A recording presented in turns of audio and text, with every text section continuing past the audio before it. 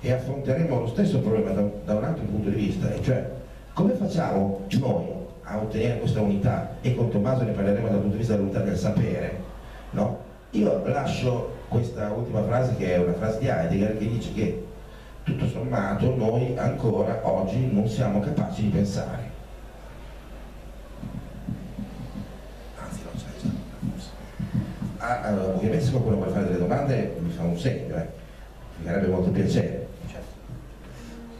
No, io volevo dire solo, no, vabbè, forse, cioè forse un pre-pensare al quale noi facciamo molto poco, a cui diamo credo molto poco conto un pensiero prima del pensiero, che a volte viene identificato anche come la follia, come una, una, forma di follia, ma non la follia in sé, perché la follia in sé è il pensare male. La follia in sé, una persona malata di mente generalmente pensa male.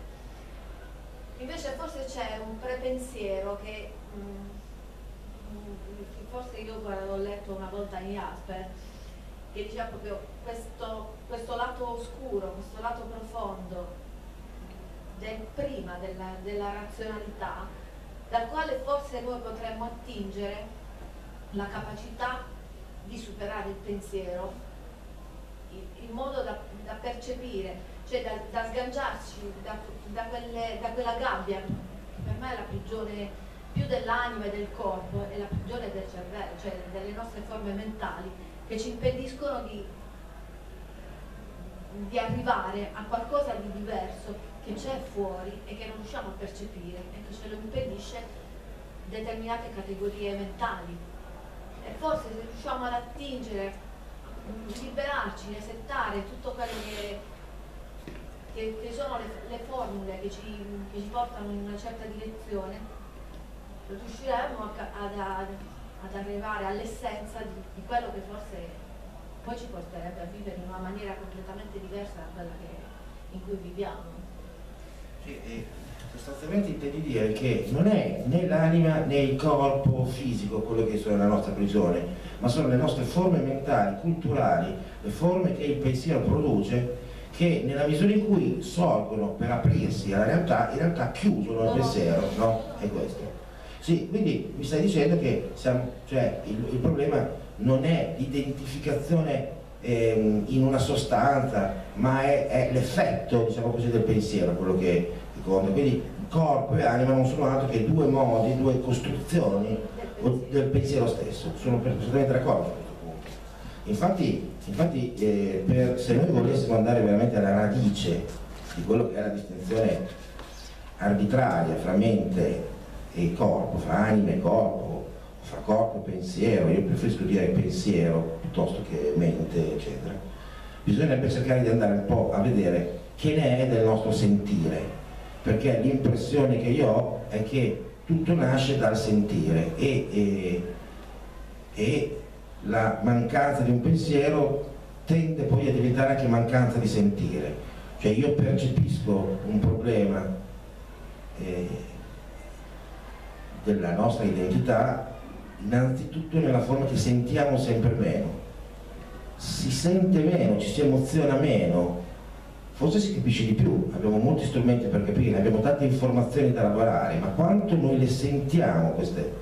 Quanto perdiamo il senso proprio l'essenza e, e non sentendo poi perdiamo il senso. Perché, perché secondo me il pensiero è una cosa ma quello che noi pensiamo del pensiero quando noi lo vogliamo analizzare, quando vogliamo costruire una teoria, è una cosa diversa, è un modello.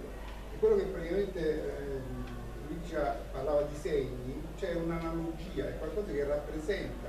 Quindi quando noi pensiamo al pensiero come qualcosa che poi dobbiamo elaborare, metterlo come base di una teoria, eccetera, stiamo costruendo un'analogia che però non è un pensiero, è una cosa diversa. Quindi quando pensiamo di mente e corpo, in realtà pensieri, una nostra, un modello una, del nostro pensiero, non è il pensiero, perché al, al, al pensiero non ci arriveremo mai. Ogni volta in cui cerchiamo di, di pensare al cervello, postiamo un modello che per noi diventa un modello rappresentativo, ma che non sapremo mai se il pensiero è vero. Sì, però noi non possiamo pensare che i modelli che noi pensiamo siano qualcosa di estrinseco a noi. Cioè i modelli attraverso cui il pensiero pensa sono ciò che il pensiero è. Il pensiero è una evoluzione, un movimento di modelli che si negano e si, e si diciamo, oppongono dialetticamente fra di loro. Altrimenti tu, tu penseresti che il modello del pensiero, cioè... Tu dicevi prima il, il sentire, il sentire è probabilmente un qualcosa che non è un modello. Finché non lo analizziamo, finché non lo, lo trasformiamo in qualcosa che su cui vogliamo ragionare, nel momento in cui lo facciamo diventare oggetto del ragionamento, diventa un modello, finisce di essere il sentire, finisce, diventa un modello.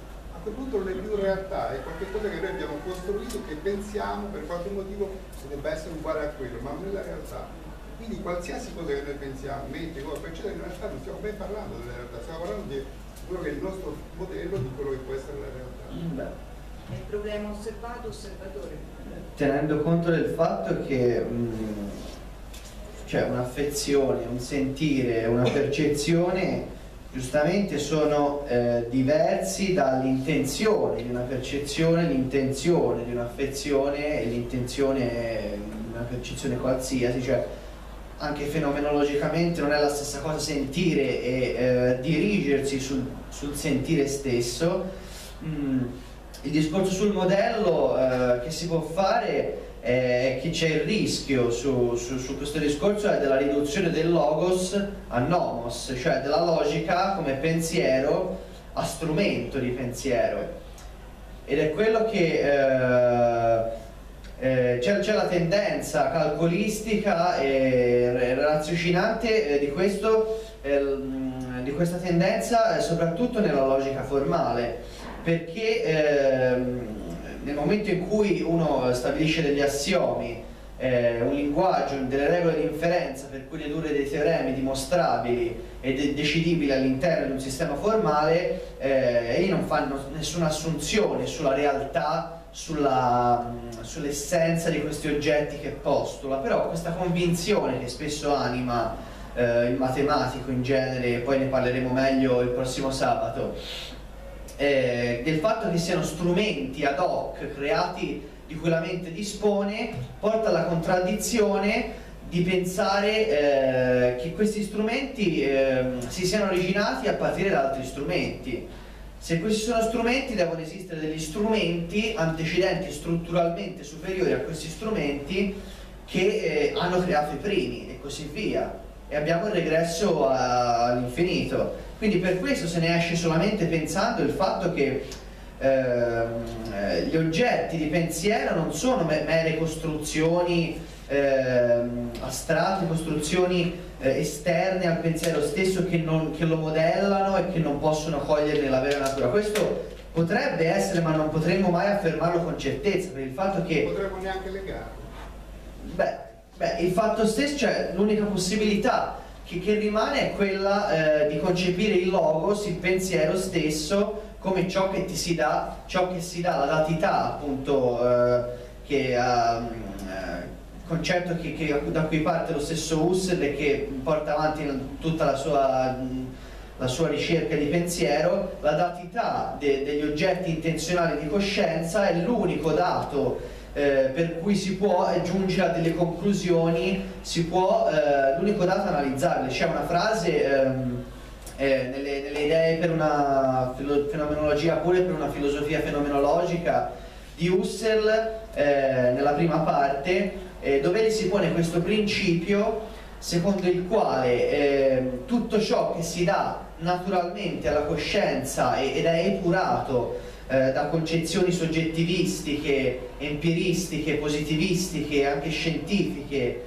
eh, soggettive, di opinione, eccetera, è fonte di, di conoscenza, in quanto ehm, realizzarsi di, di, di una teoresi pura e ingenua della ragione ehm, che, che, solamente ciò che viene percepito primariamente in questo senso come datità può essere fonte di conoscenza ve vera, diciamo, in questo senso. Tu non pensi che ogni volta che si fa ragionalmente, si crea un teorema si sviluppa una teoria, stiamo sempre facendo lo stesso errore di prima? Scambiamo un modello per il pensiero. Ma di fatti, eh, cioè, ora andiamo davvero fuori tema perché il discorso sarebbe lungo e meriterebbe un, una trattazione più ampia però eh, cioè la, la, logica formale, la matematica non sono delle, mm, delle rappresentazioni univoche e, eh, assolutamente fondate di ciò che è il pensiero, sono degli strumenti oggettivi, direbbe Hegel, eh, dell'intelletto astratto, posti eh, in senso astrattamente intellettivo, quindi slegati, disgiunti fra loro, non in senso dialettico, eh, per il quale e a partire dai quali si stabiliscono delle regole e si decide di analizzarne delle loro conseguenze. Quindi sono sì dei modelli, sono degli strumenti, però non risolvono eh, la, la, loro stessa fondazione, non risolvono il fatto stesso di essere concepiti come degli strumenti. No, volevo aggiungere che, scusami, che il modello in sé non è un qualcosa di negativo in quanto occultante l'oggetto. Il modello, per esempio, nella fenomenologia di Husserl, il modello lui lo chiama il noema, è sempre il medio fra l'intenzione del pensiero e l'oggetto ed è, sarebbe, sarebbe il significato. Sarebbe il significato. dipende dalla nostra fiducia o meno. Non è una questione di fiducia, non è una questione di fiducia, perché tu hai, i casi sono due, o tu hai un'intuizione e allora tu non hai nessun modello, perché è l'oggetto che ti si presenta in carne ed ossa ed è quello e non, e non, e non è negabile, perché la negazione lo, lo afferma, oppure tu hai una significazione che ciò tramite cui ti rivolge l'oggetto. Per cui può essere vero o falsa, nel caso non, non può non esserci. Hai un, nel caso che tu hai ragionamento in realtà pensi attorno a quello che è una descrizione del tuo pensiero, perché non puoi fare altrimenti un'analisi, no? Quindi è vero il fatto che tu crei una descrizione che non posso fare un'analisi, che posso fare un'analisi? Di, di avere un pensiero che possa essere descrivibile. Questa descrizione è un modello del pensiero, non è il pensiero reale, quindi in realtà o tu crei questo modello con questa descrizione, crei un qualcosa che non ha nulla a che fare col pensiero. Quindi tutte le teorie che noi andiamo a creare, comprese in realtà si basano. No, non sono d'accordo con quello che dici, nel senso come sempre. non, volevo, non, volevo, dire. Ma non c'è problema, cioè, eh, va bene non essere d'accordo, cioè, guai essere sempre d'accordo. Però secondo me eh, bisognerebbe pensare, questo, questa cosa che tu stai dicendo, dovresti pensare quando tu pensi che cosa vuol dire essere autocosciente perché non esiste soltanto la coscienza di sé cioè come una rappresentazione di se stesso, cioè fare di se stesso un oggetto, così come io sono cosciente di questa bottiglia, sono cosciente di me stesso. Esiste una forma di autocoscienza che è, come dire, intrinseca all'atto stesso di coscienza, cioè è un costantemente non essere ignoto a me, di me stesso, nell'atto di essere coscienza per un altro. Questo non è un modello di me stesso. Però, nota, io, io ti parlo di due cose. Una cosa è avere tutto quello che riguarda la, la sensazione, il sentimento di, un qualcosa, una cosa è costruire di questa cosa un pensiero su cui poi analizzarlo. Se tu cerchi di pensare a quella bottiglia, ma cerchi di pensare con qualcosa su cui ci vuoi lavorare su, finisci di essere una sensazione e diventa una, una cosa che in qualche modo è linguaggio, è descrizione e quindi a quel punto non è più la realtà.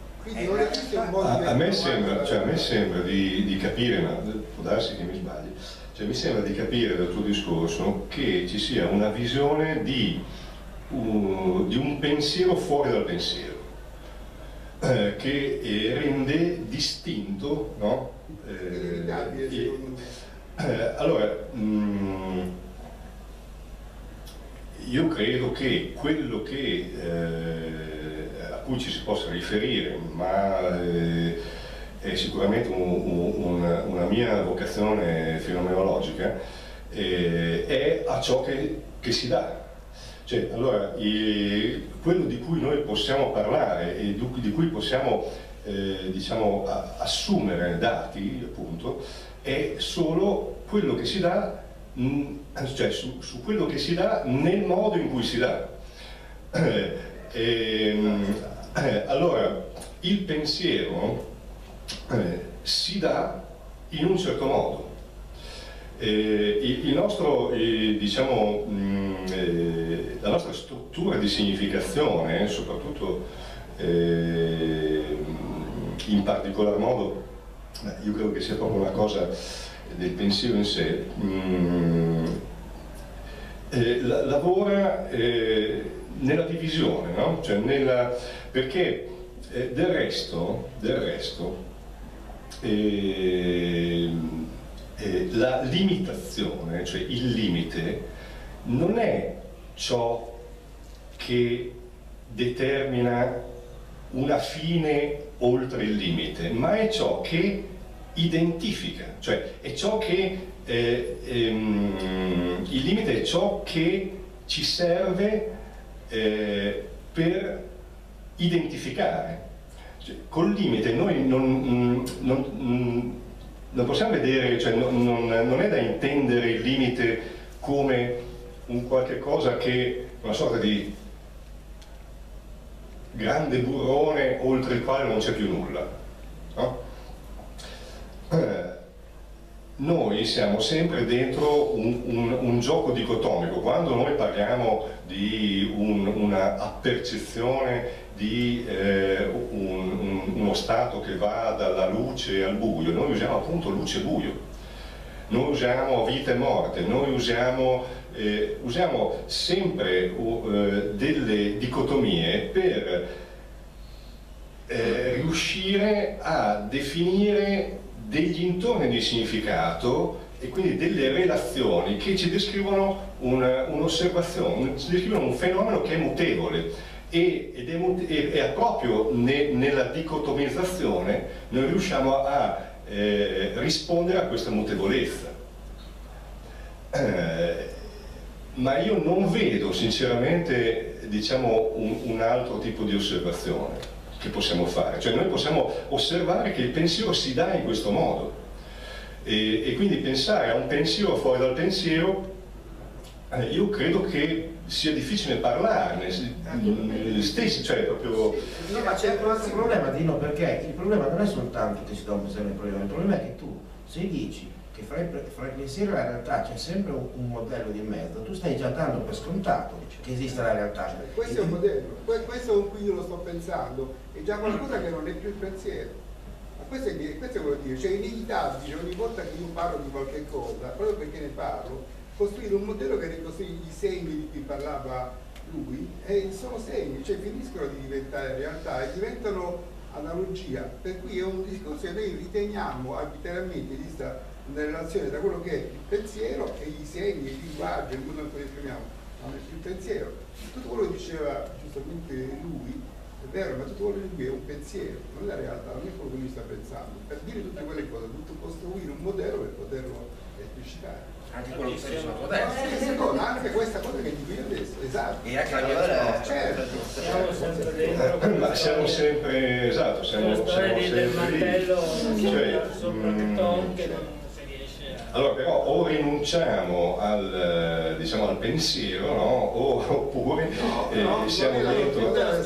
Noi abbiamo la possibilità di pensare, una cosa è pensare alle cose e una cosa è cercare di pensare alle cose al fine di descriverle e di esprimerle Ma... e di comunicarle. Se io non la comunico, se io vedo la luce, io la vedo, non c'è bisogno di descriverla, la vedo e basta, quello è il pensiero. Se io invece voglio descrivere quella cosa, allora a quel punto sono costretto a costruire un modello di quel pensiero là e diventa una cosa diversa. Quindi è vero che io dico una cosa sicuramente ricado in questo, in questo termine, ma non è vero che... Ma io credo che entriamo non solamente dentro il discorso della comunicazione, ma entriamo dentro il discorso dell'autocoscienza, cioè, ovvero entriamo dentro il discorso della, della presenza a se stessi, cioè, e quindi della presenza del pensiero che pensa al proprio a fare oggetto di se stesso, no? quindi che, che, si rivolge al, a, e, e, questo è, è, il, è, il, nostro dato di autocoscienza. Del resto noi inevitabilmente, dal momento che siamo dentro al divenire, eh, siamo costantemente eh, e, e, irrimediabilmente eh, obbligati obbligati dal, dall'essere nel divenire eh, a trattenere eh, il ciò che non è più e al proiettarci nel, nel ciò che non è ancora, eh, che è l'unico modo eh, con cui si può mantenere insieme una eh, un'autocoscienza identitaria, cioè, eh, noi, e quindi la modellizzazione, cioè quindi il fatto di, di proiettarci, no? di essere proiettati in, eh, in, quello che sarà dopo, no? essere proiettati nel, nel non ancora,